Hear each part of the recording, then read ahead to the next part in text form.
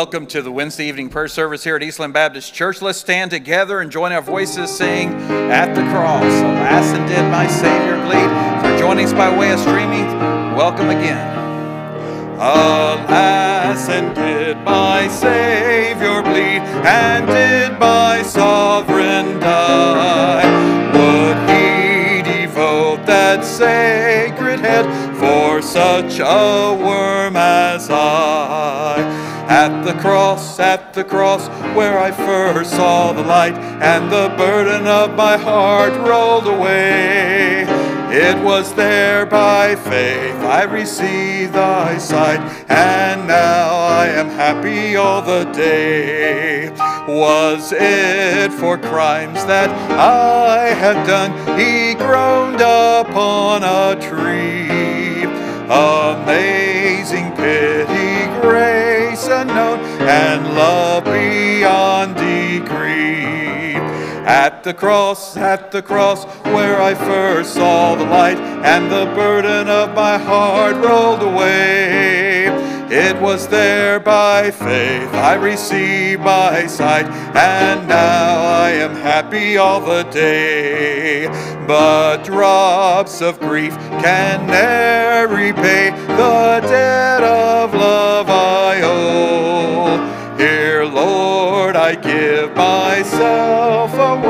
tis all that I can do.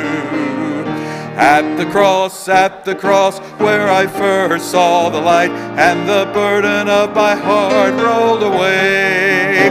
It was there by faith I received my sight, and now I am happy all the day. Thank you, and you may be seated.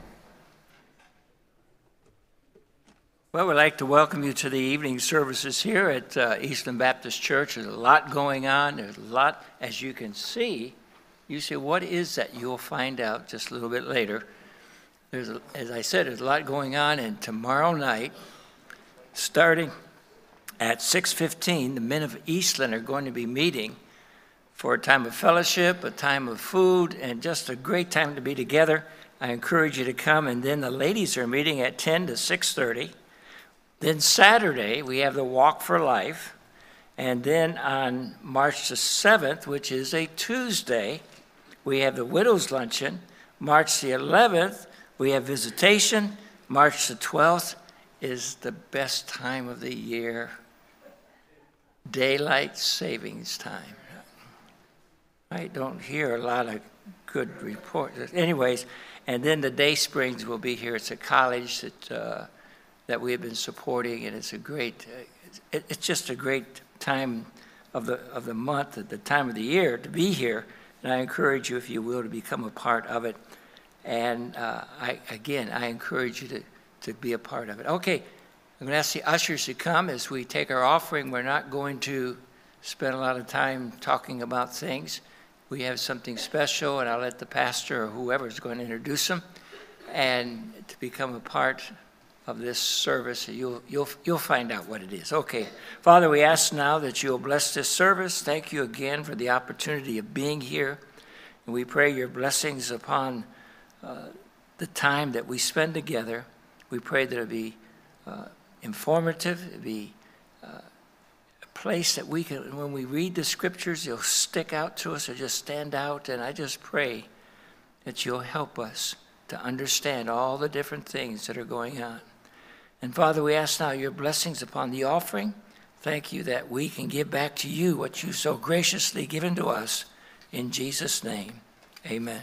Thank you for the offering.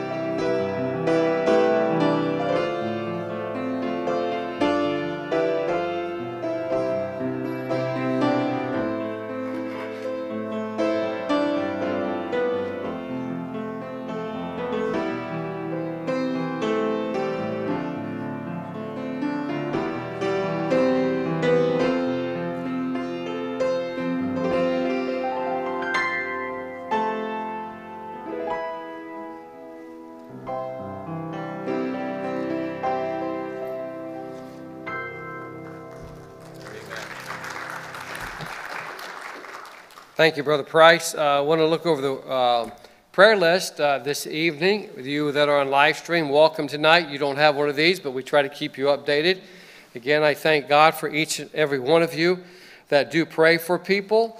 And uh, I pray, even though sometimes you don't see the results, uh, over 500 times in the scripture, the Bible commands us to pray or talks about prayer. The very beginning part are folks who have been dealing with cancer. Uh, most of these people we've been able to get uh, in touch with in the last 24 hours. Uh, Miss Creel was doing so well with her um, treatment, but then got sick and they had to stop the treatment. So she's having trouble with the cancer now, and she's, she's feeling bad. So please pray for Miss Creel. Tim McKinney is doing fine. Of course, he runs Transformation Village out in Bithlo. Robin Dorse told me her husband, RJ, has lung cancer. They did tests. They find out that it's contained there. It's not spread anywhere else, which is good news. Um, Dana Angel is going to have surgery next week. Of course, she's in North Carolina. Uh, Janice uh, Newby's aunt, uh, Jean Fikes, uh, passed away suddenly yesterday, 87 years of age, wonderful Christian lady. Uh, and uh, they're going to be flying out Monday and Tuesday for the viewing and for the funeral. So pray for Pastor Newby and Janice as they go there and support the family. Uh, Mrs. Rogers said that uh, her nephew, who lives in Brooksville, got a very good report on his pancreatic cancer. They believe they've caught it early and they're going to be, be able to treat it. So we're, we're, we're so happy for her. And then Lydia contacted us. Her mother's in uh, the Big Advent Hospital, and she's on oxygen and been in there for a week, and she's very concerned about her. Last week talked about um, uh, Alexa. Uh, she's 25, having seizures. That's the Webb's daughter. And then uh, Robin, I got an update from her about her aunt, also in Brooksville, and she's on hospice and she's deteriorating and uh, they, they have a, a, lovely church family that's loving on them. But pray for Robin's aunt as uh, she goes through this. John Mark and, her, and, his brother sit right here. James, uh, John Mark's in the hospital with an infection. And then uh, we have five people in rehab. Uh, Carl's mama, Donna, is right up the road here. Your mama is Mary's right down there. Uh, and then there's Miss um, Whereas Miss Griffith, she, she's right next to your mama, I found out. I visited your mom and found out she's right next door. I felt bad that I didn't see her. Um, but we've had other people, Brother Rockwell, Andrea, be going in to see those ladies. Um, and then also uh, Beth Park, her dad at 96, had a fall, had the virus. Man, he's a tough old guy. They, they rehabbing him. He's doing really well. And then lastly, pray for uh, uh, Dan Parks, who's at Altamont uh, being rehabbed. And each of these rehabs is different, you know, and I, I, figured out talking to some of these people that uh, in this rehab, when you go through stuff, you got to move. If you don't move, you're in trouble. I've seen people go through surgeries and not move and then deteriorate. And uh, I have a hard time moving at 65, so I'm not going to be critical, all right? So pray for these dear people. It's simple as this that the people that are rehabbing them, treating them, can get them up and moving around and healing begins, begins. So it's, it's an amazing, simple thing, but not a simple thing. So pray for all these people. And let's ask God to bless our service tonight and our guest uh, who's here with us tonight and will be in our high school tomorrow morning. Father, thank you uh, for letting us be here.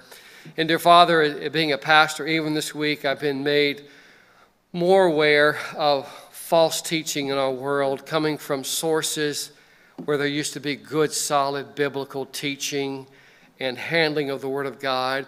And I see men have had their hearts and direction turned and are taking the same people down the wrong path, dear God. I thank you for good Bible teachers on television, on the radio that have national worldwide ministries. I lift you up, them up to you today, tonight, dear God, that you'd bless their ministries and the way they try to battle false teaching in our world. And people know so little about the Bible, dear God, they're susceptible by being deceived by these false teachers, dear Lord. And I pray for churches that they would stand on your precious, precious word. It's something that's heavy on my heart. I think about these people that have cancer, and uh, some of them are not doing well. Some are turned around and head in the right direction, but they all need your grace. And each one of these people, someone loves. Each one of these people I, I pray that you would use them uh, to draw people to your precious Son as they're going, what they're going through. There are others who are going through general illness, and there's a lot of uncertainty and nervousness, dear God. Please bring peace to uh, their lives, dear God. And then I, pray for these, these, these uh, mostly, mostly older folks that are in rehab right now, been going through a lot of different things. Each one of their circumstances is just a little bit different, but they don't want to be there. They want to be home. They want to be near their loved ones. And, um, and I, I, pray for them that you would uh, uh, send the right people to love on them, to encourage them, that you would restore them and bring them back to their home where they want to be, dear God. Uh, I, I thank you that all the billions of people who ever walked the face of this earth, there's not one of them that misses your eye, dear God. We many times feel very insignificant. You tell us in your scripture not to be respecter of persons, not to honor other people over other people. And our sin nature is to do that, dear God. But I'm thankful that when the smallest person, the most insignificant person in this world is lifted up in prayer, you see them, you love them, and you care about them. And lastly, dear God, I pray for the salvation of any of these people. May we have certainty of salvation, and we can by trusting your Son, Jesus Christ. Bless tonight. May we be encouraged. May we have a desire to learn from your word and understand the scriptures. I pray this in Jesus' name. Amen. Amen. Well, let's stand once again. If you are sitting in this section, even though you have reserved seating over there, if you would like to move closer to the middle so you can see, that would be great. We're going to sing one verse of What a Wonderful Savior.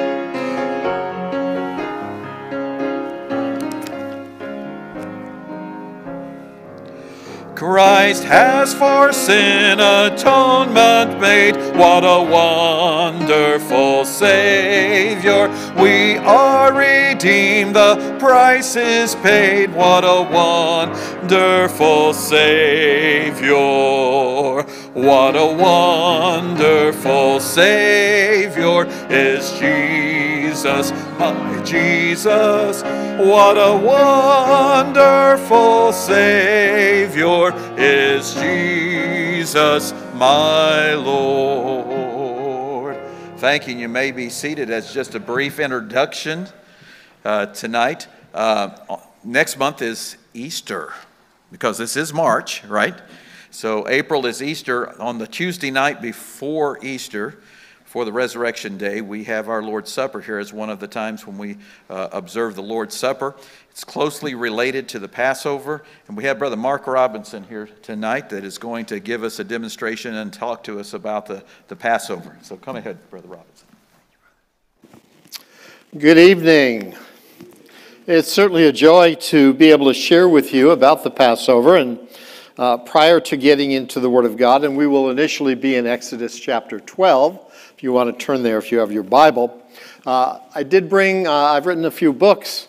Uh, they're out in the back, uh, commentary on Romans 9 through 11.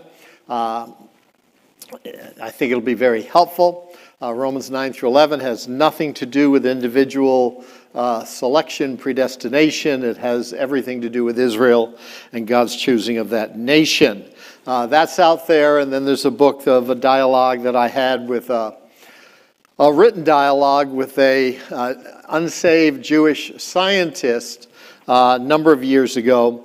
Uh, and then in one of the, the other book out there is on Israel, God's Key to World Evangelism. Uh, I am totally convinced that the key to world evangelism is uh, through uh, the Jewish people, the nation of Israel, and, and that deals with that. And then there are a few DVDs out there.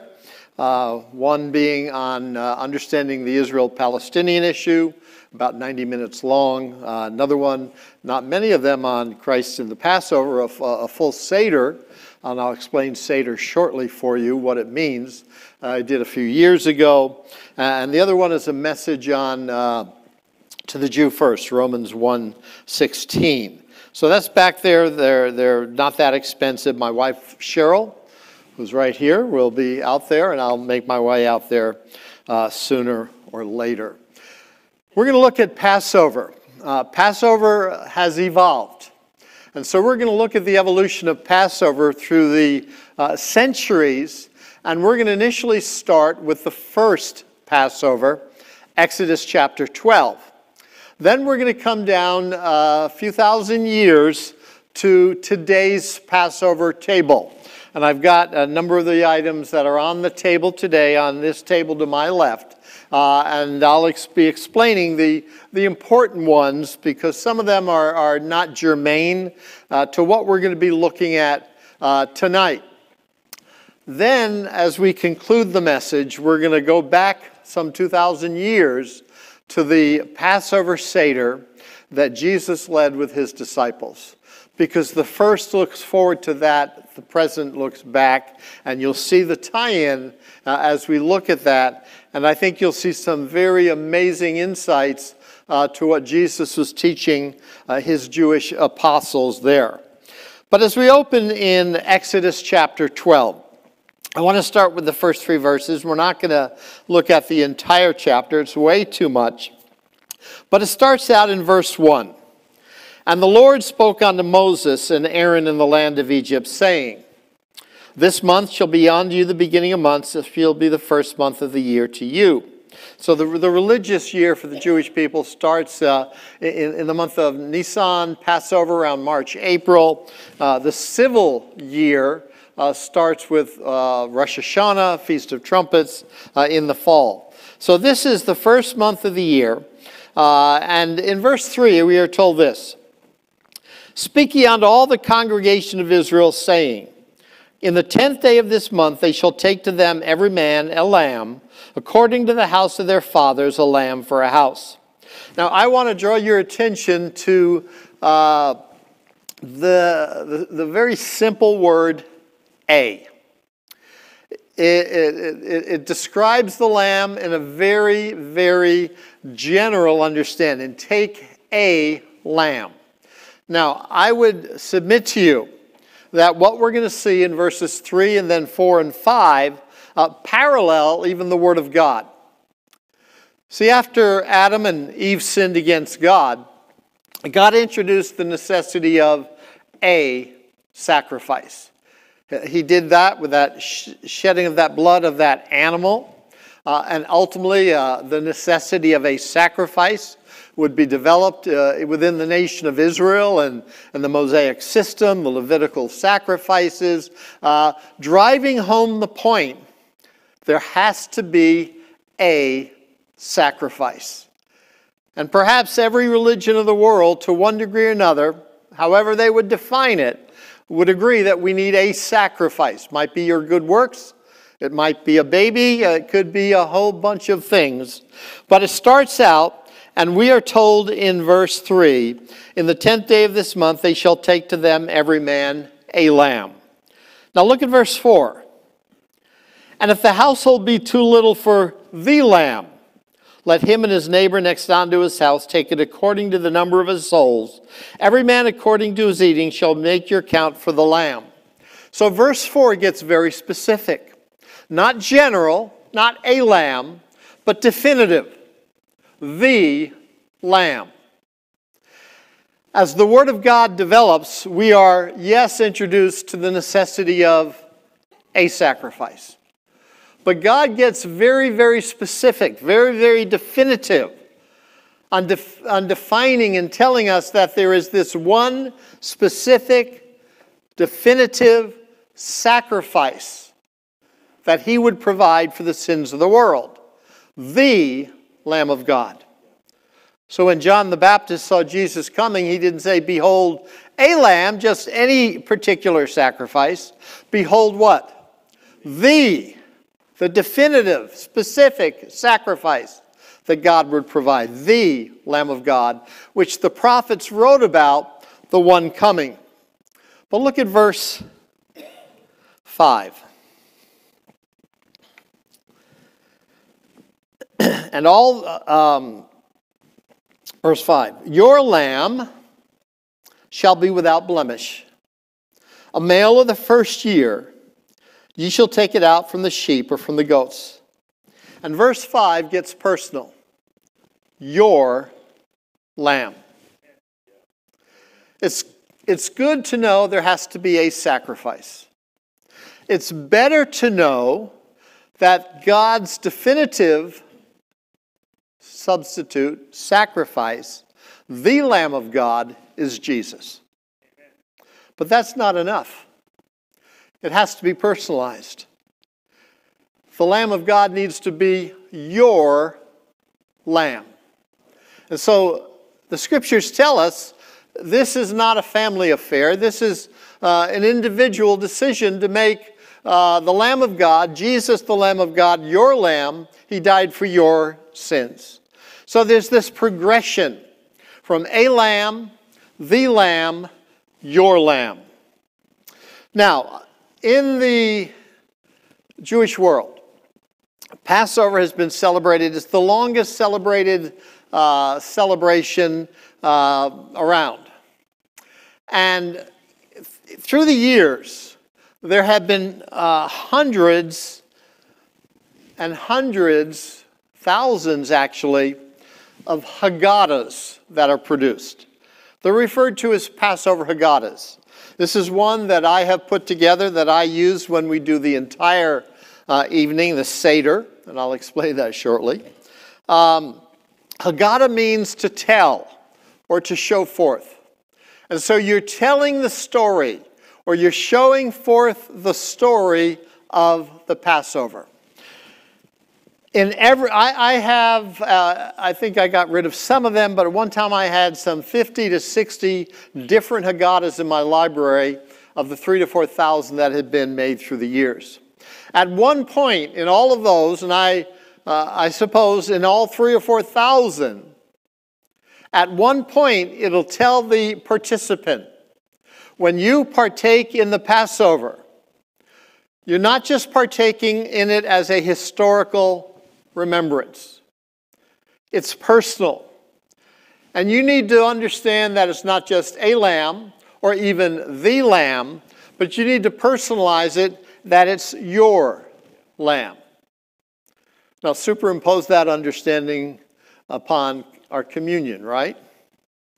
You know, if you only know there's going to be a sacrifice or that the sacrifice is Jesus, uh, you should not partake in communion uh, you have to have personalized it, your Lamb of God.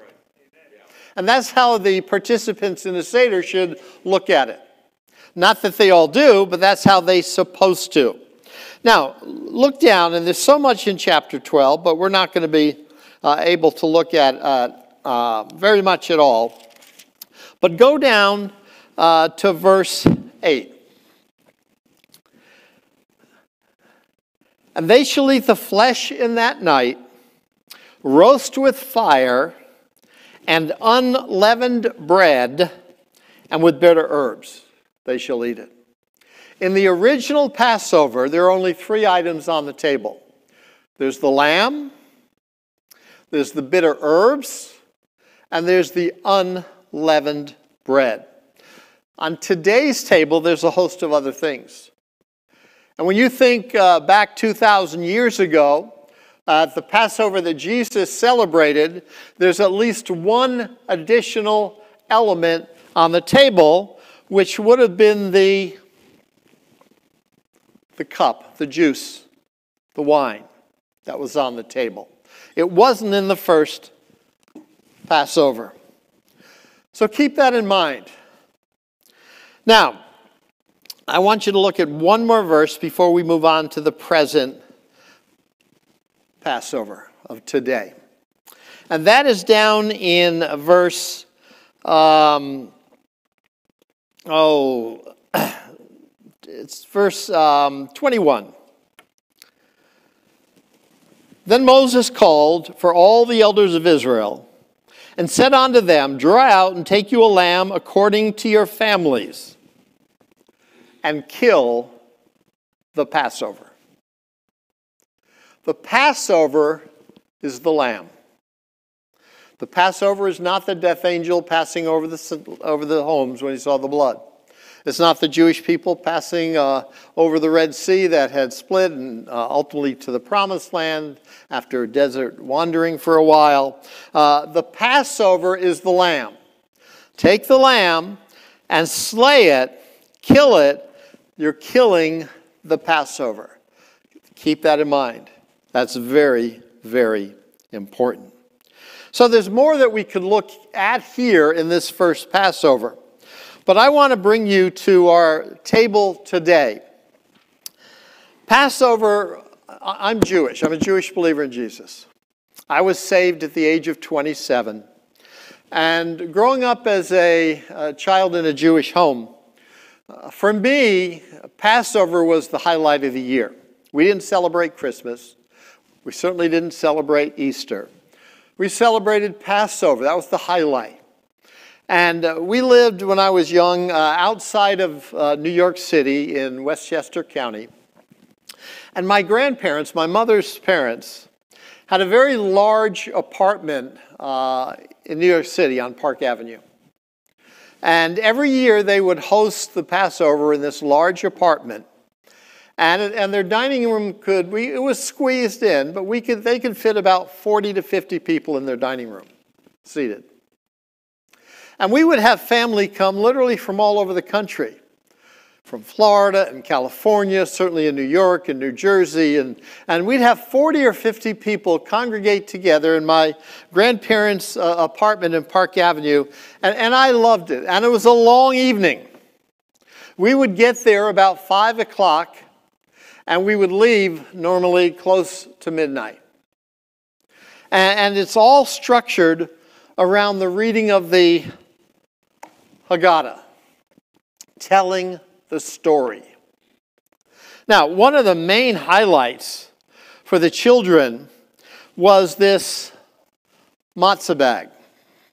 And this has been on the table for centuries. Early in the evening, this is a uh, trifold bag or tri compartment bag, better said. And in each of these compartments is a board of matzah.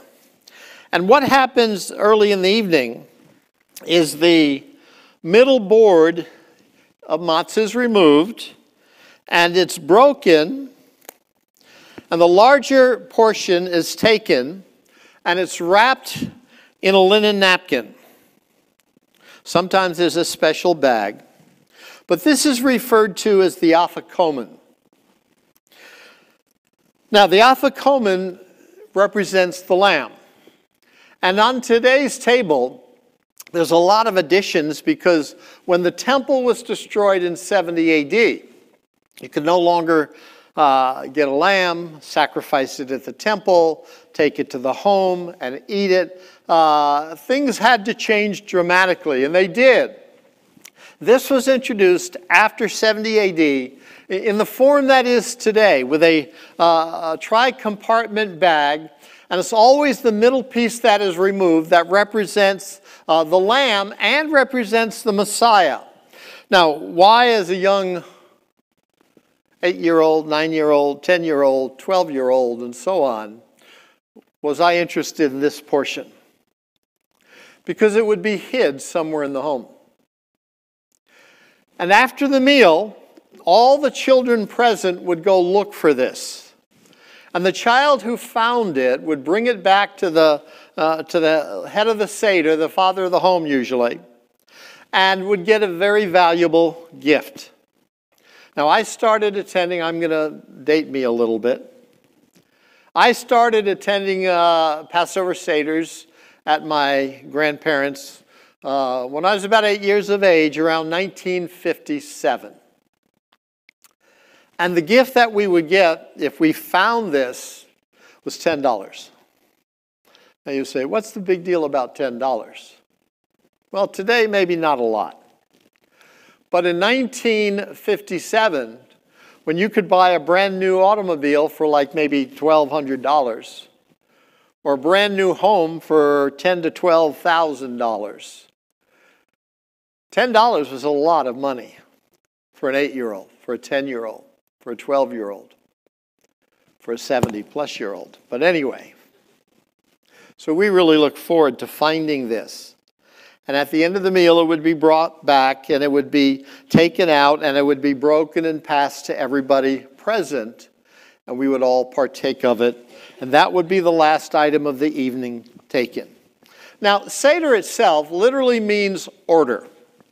There's an order to the Passover. And the order of the Passover goes back for centuries, I believe, even to the time of Jesus and previous to the time of Jesus. And the order of the Passover basically revolves around four cups of juice or cups of wine.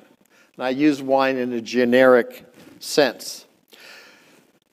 This was not at the original Passover, Exodus chapter 12. It was on the table of Jesus' Passover. Now, turn with me to Exodus chapter 6.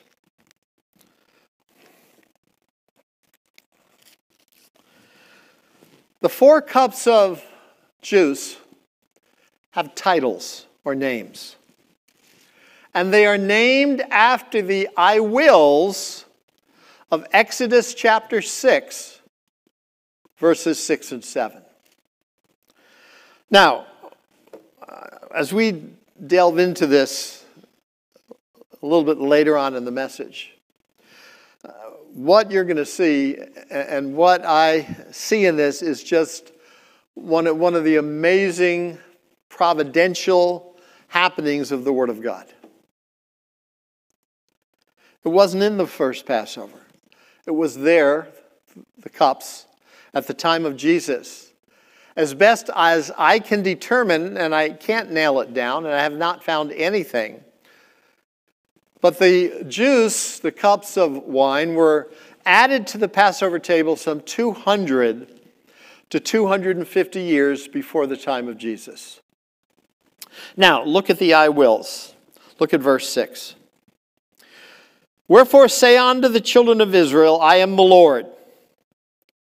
I will bring you out from under the burdens of the Egyptians.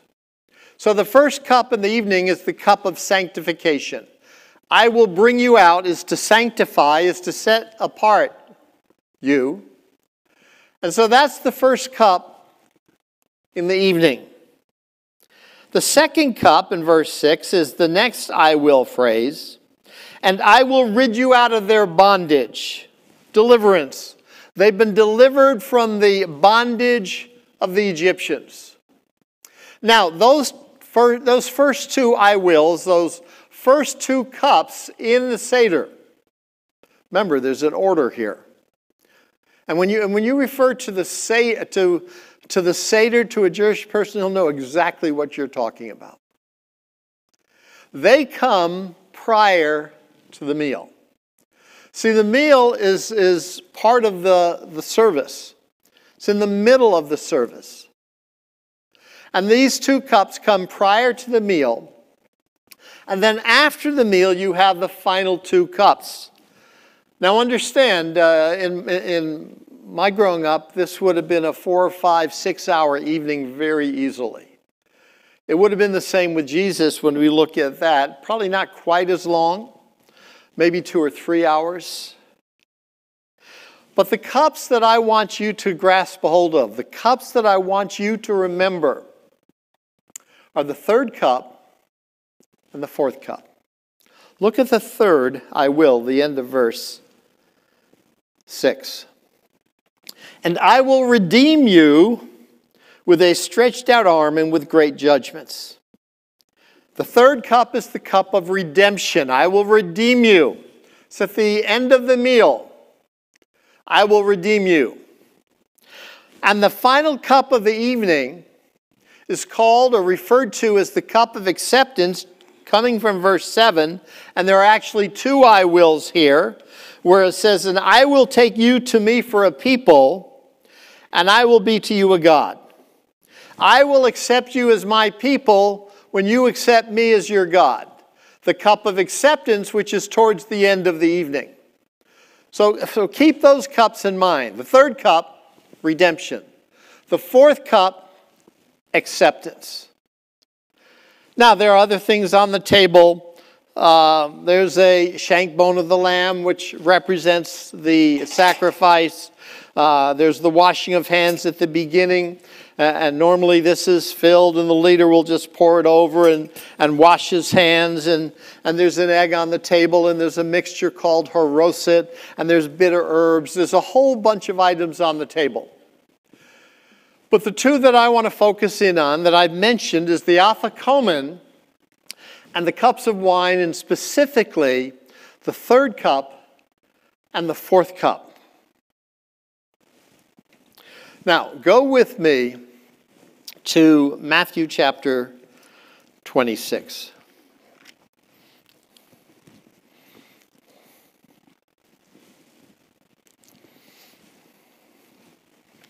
And we'll pick it up at verse 19.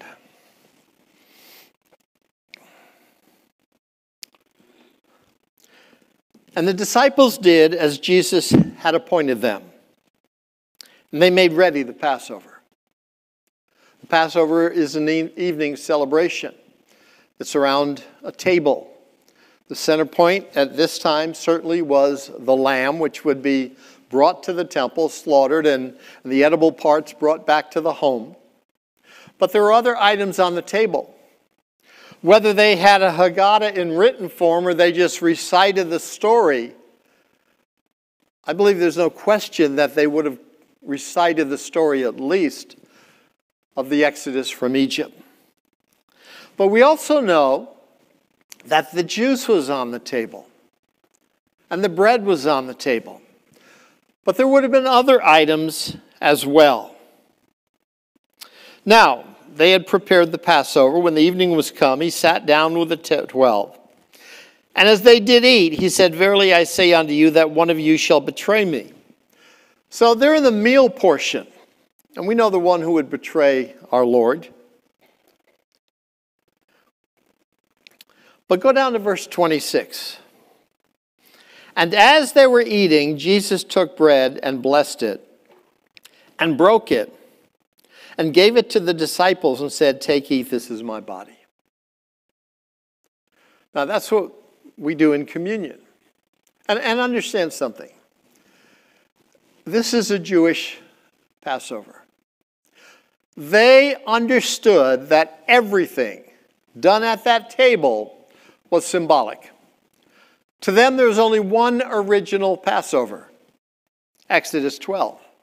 And the command to celebrate it yearly was to be done in remembrance. And everything was a picture, was an illustration, was symbolic. So when Jesus took that bread and said, blessed it, and said, Take, eat, this is my body, he didn't mean that bread is literally his flesh. This is symbolic, this is illustrative. Take and eat this bread. Now, the Jewish people have a number of different explanations for this matzah bag and the afikomen it's almost certain, I would say it's 100% certain, that this bag did not work its way onto the Passover table until after 70 AD, when Jerusalem and the temple were destroyed and the Jewish people were scattered to the nations of the world. And so the Jewish people uh, have a number of explanations for this trifold bag and the three boards of matzah. They will tell you the primary explanation, there's more than one, is that those three boards of matzah uh, speak of uh, the, um, the Israelites and the Levites and the Kohanim, the high priests, or the priestly line, high priestly line. So ultimately, the whole nation of Israel. There's other explanations. It's not worth talking about them at this point. But none of their explanations have any historical basis whatsoever. Without going into the historical background of it, I, I will submit to you that this entire drama of the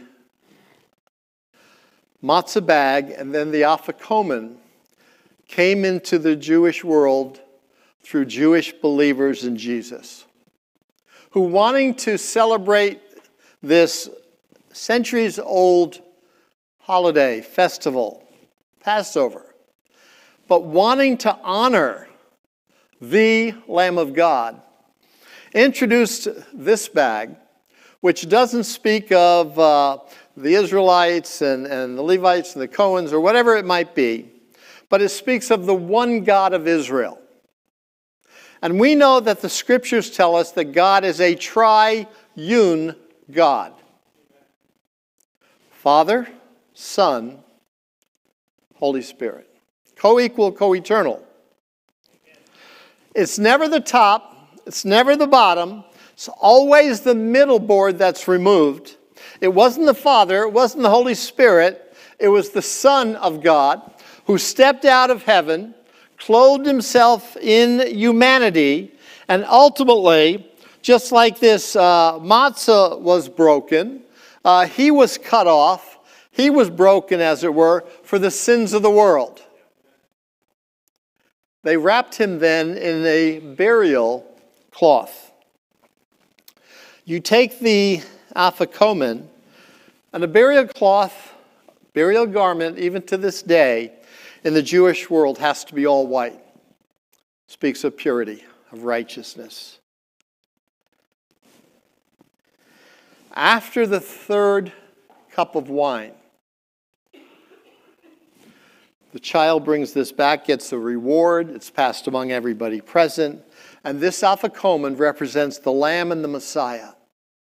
And the afikomen, the word afikomen, uh, actually is a Greek word that literally means I came, I came. It's the Messiah, the Son of God, who stepped out of heaven, walked among humanity, was caught off, broken for the sins of the world, but came back, rose again on the third day and yes, the wages of sin is death. But, aren't you glad for the buts of the Bible?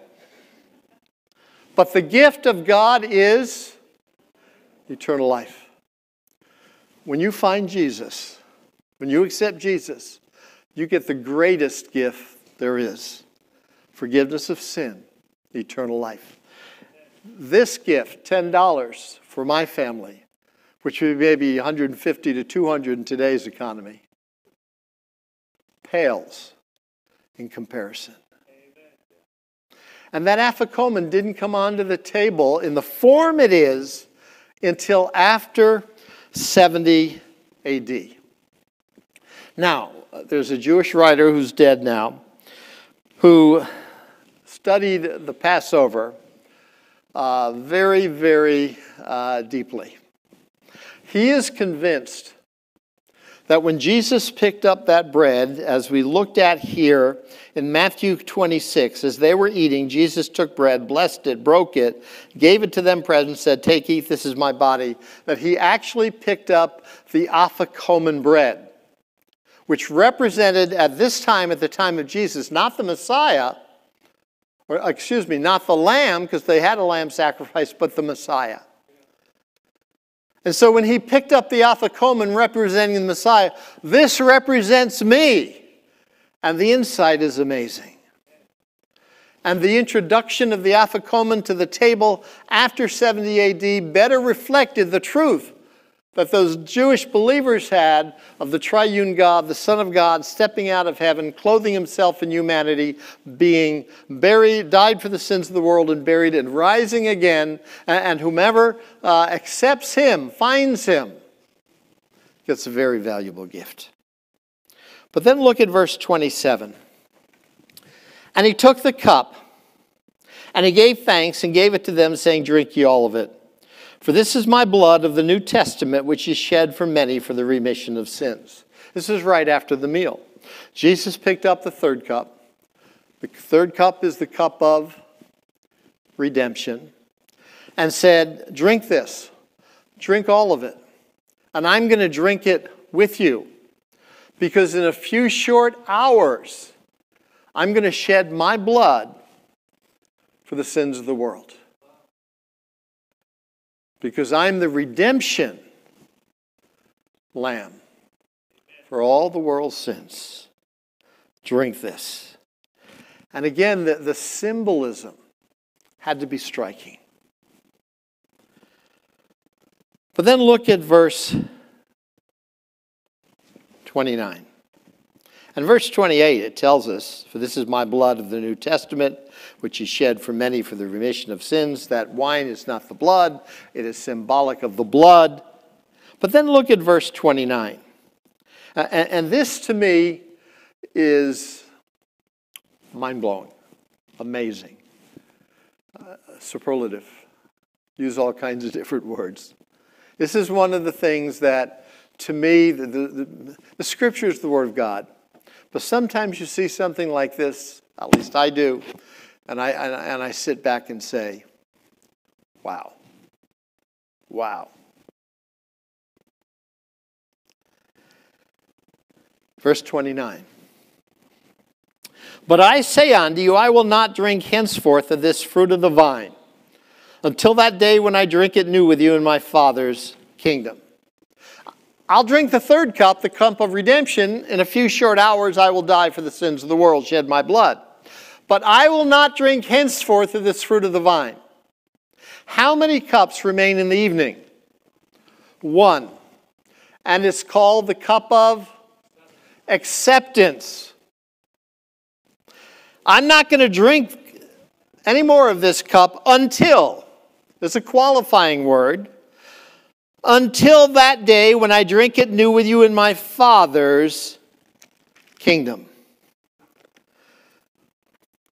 Now, there's only one requirement for the kingdom of God to be established on planet Earth. That's the Jewish people, the nation of Israel, turning to the Lord. And they say, Blessed is he Jesus, that comes in the name of the Lord. And Zechariah 12:10 says, When they shall look upon him whom they have pierced. What I find fascinating, that fourth cup, I will take you to me as a people when you take me as your God, the cup of acceptance. That phrase is used some 15 or 16 times in the Old Testament. Every single time it's used in a future tense, in an eschatological tense. Now, the exception would be the first use of it in Exodus 6. But when you understand what Jesus was doing uh, and, and, commenting on it, you see even in Exodus 6, even though contextually there, it has nothing to do with the latter days, the end times, it, it fits. Because every other use and it's, it's always in the present, in, in the future tense, with one exception I'll share in a second. It's always at the end of the tribulation when the Jewish people have accepted Jesus as their God. And he accepts them as his people. Amen. There's only one time it's in the present tense. That's found in Zechariah 13. Now, Zechariah 13 in verses 8 and 9, this tribulational events. It's in this coming seven year tribulation period. God says in verse 8 of Zechariah 13, It shall come to pass that all the land, saith the Lord, two parts therein shall be cut off and die, but the third shall be left therein. Two thirds of the Jewry will be, will be killed in the tribulation period. And I will bring, verse 9, I will bring the third part through the fire, will refine them as silver is refined, will try them as gold is tried. They shall call on my name. What is Roman? Whosoever shall call on the name of the Lord shall be saved. They shall call on my name. I will hear them,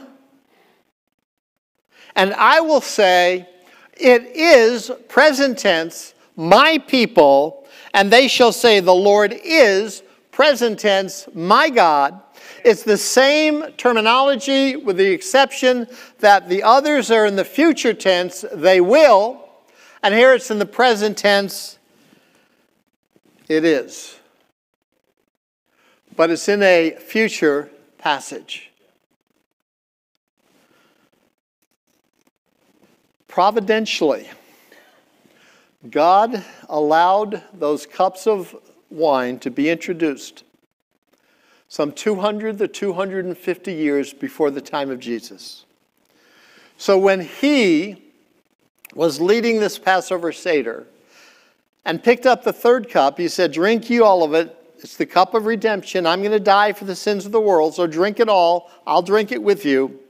But I will not drink henceforth of this fruit of the vine. I won't drink the fourth cup because the fourth cup is the cup of acceptance. When you, the Jewish people, accept me as your God, and I will accept you as your people. So I will not drink this cup, the fourth cup, until I drink it new with you in my kingdom.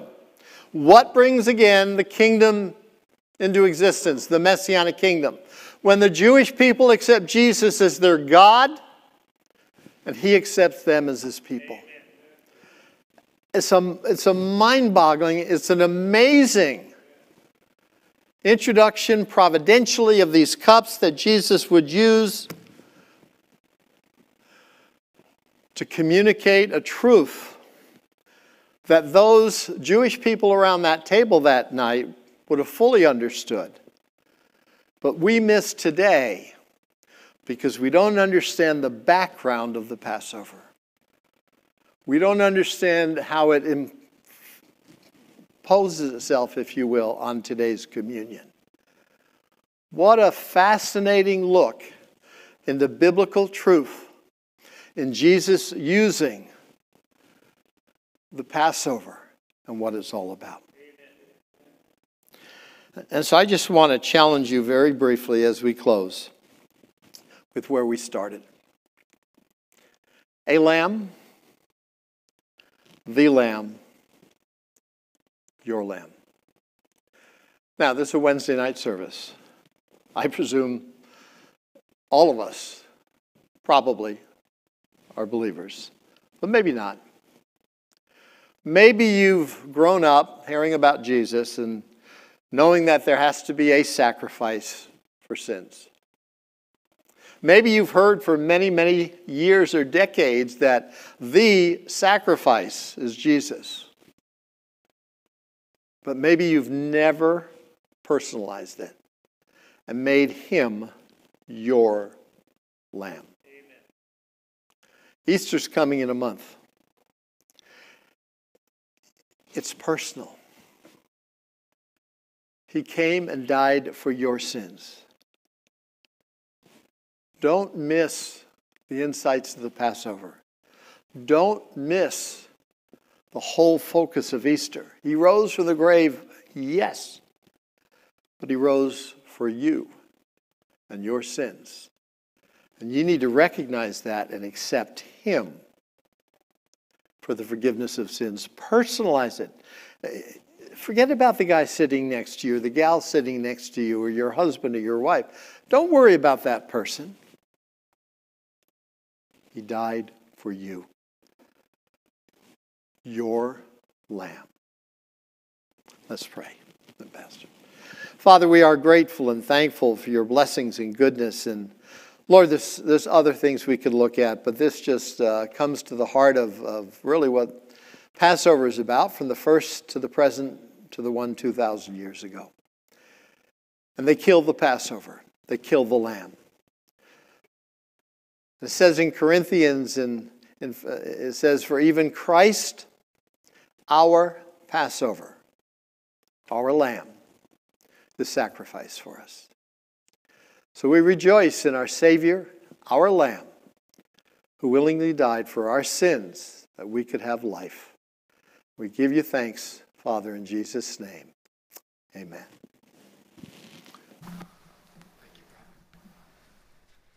Thank you so much, uh, Brother Robinson. Ushers, would you get together? Let's take an offering for this brother. Um, we met him last year in our um, uh, missions conference. I met him in Chicago, and so glad you were here tonight. Again, I, I look at the different ages tonight.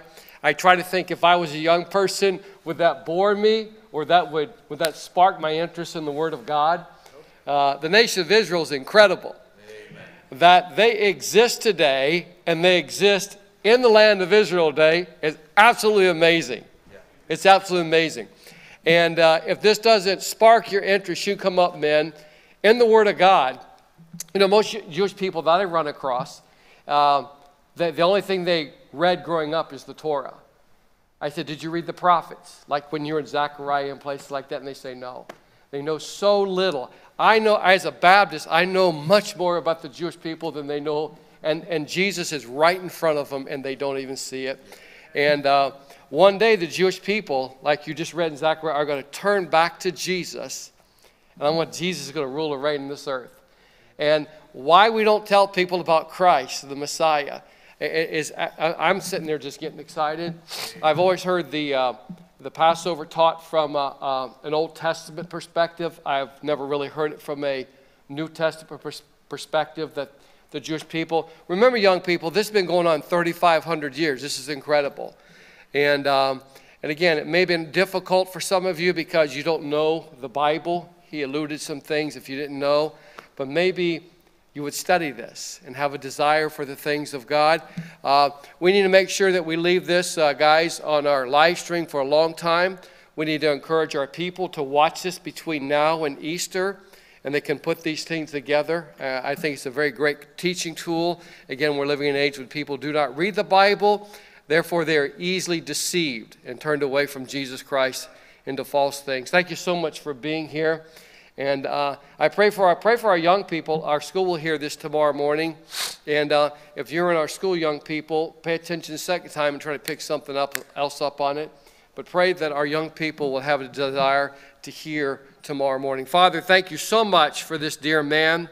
Uh, what an amazing thing that this brother, at 27 years of age, raised in a Jewish home. What an incredible testimony how he realized who the Messiah was. I thank you. But, dear God, I pray for all the Jewish people. I pray for Gentiles that we would care about their precious souls and try to show them who the Messiah was, that he was Jesus Christ. He's from the beginning of the Bible all the way to the end. I pray you bless this offering, dear God. Uh, bless this brother and his ministry and his outreach. In Jesus' name, amen. Thank you.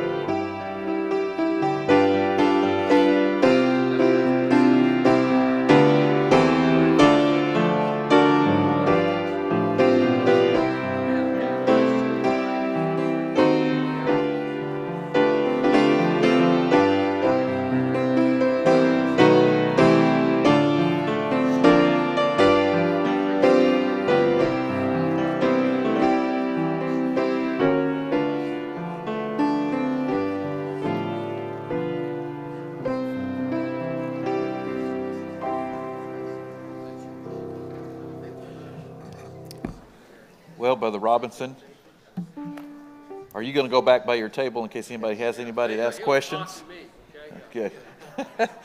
uh, if you have not been at one of our Lord's Supper services, uh, we have one coming up the Tuesday before Easter. Uh, we do that uh, to commemorate the day in which it was instituted, and we use the matzah cracker, which uh, Brother Robinson says he uh, hadn't seen people do that before in the Lord's Supper.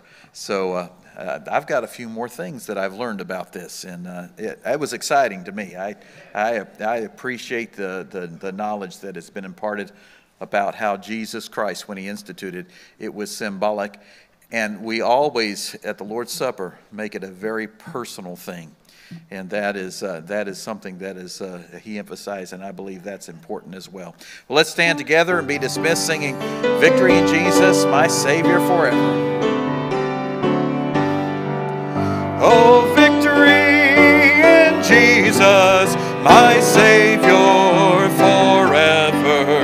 He sought me and He bought me with His redeeming